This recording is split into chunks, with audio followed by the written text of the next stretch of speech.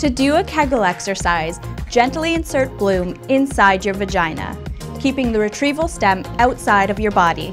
Squeeze your PC muscle. It should feel like you're pulling bloom up towards your belly button, then relax. That's one rep.